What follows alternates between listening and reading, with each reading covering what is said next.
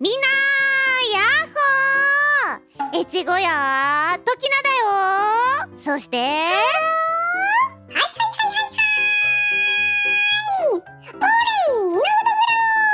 はいナー!ダグロさん今回もよろしくお願いします。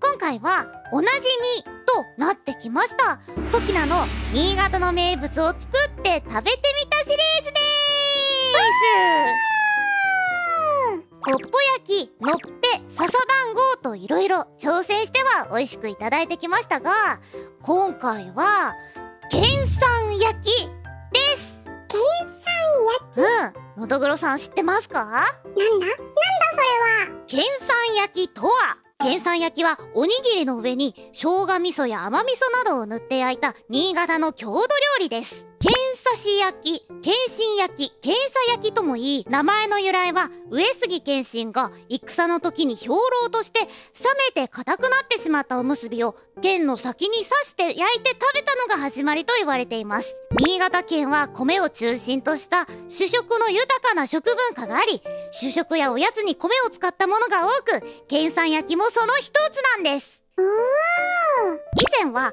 お正月や年始のお客さんの主演の後の夜食として食べられてきたものですが最近は新米の収穫を祝う行事食にもなっています。おやつや夜食として作って食べているお家もありますしお茶漬けにして食べたりもするんです。とこちらに書いてありました。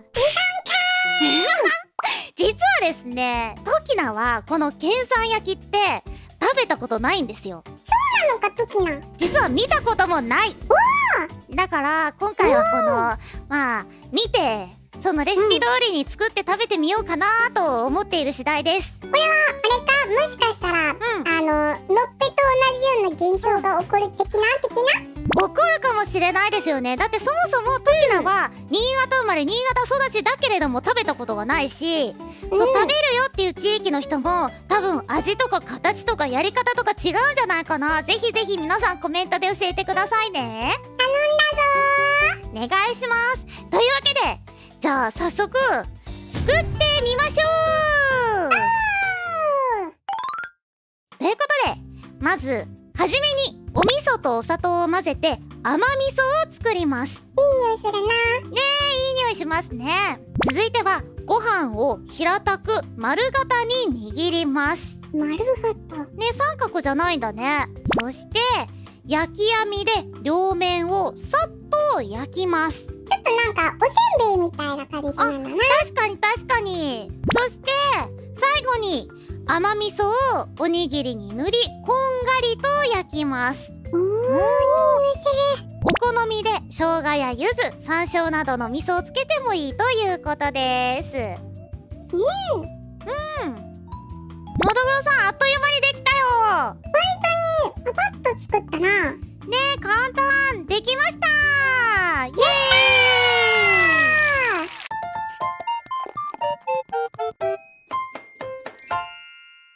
それでは食べていきましょう。のどぐろさん、うん、お先どうぞ。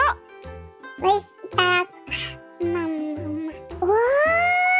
味噌が口の中に広がるな焼いてるからちょっと味噌がね、うん、カリカリなところもうまい。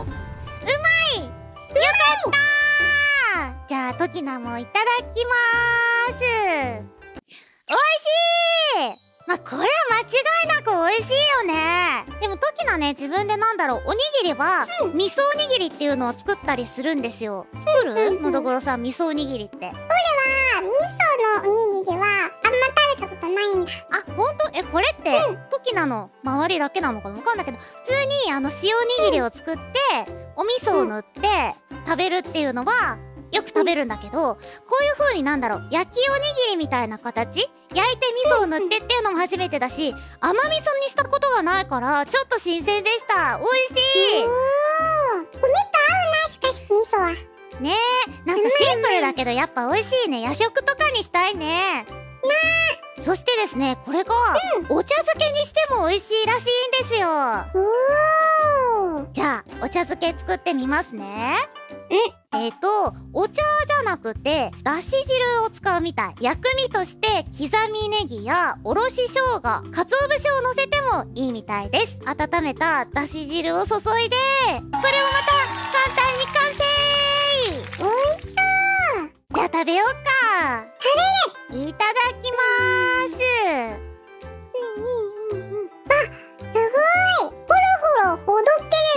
がいいな。ああの生姜のアクセントがめちゃめちゃにーいいね。もうほんとこの辺はさお好みでいろいろできるからいいですね。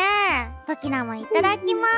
はあこれは心が温まりますねかさカリカリも美味しかったしなんだろうお茶漬けにしてもカリカリの部分が残ってたりほろほろほどけたりしてめちゃくちゃ美味しい。これもいいね。県産焼きを作ったことあるよっていう方はお茶漬けにもするのかな？どういう風に食べてるのかこちらもぜひ皆さん教えてください。よろしくなお願いします。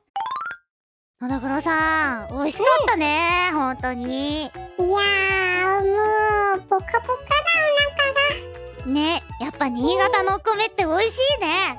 うまいね。さあでは次は何に挑戦しようかな。ときっこの皆さんトキナが作って食べる動画次は何が見たいですか？チャンネル登録よろしくね。グッドボタンも忘れずに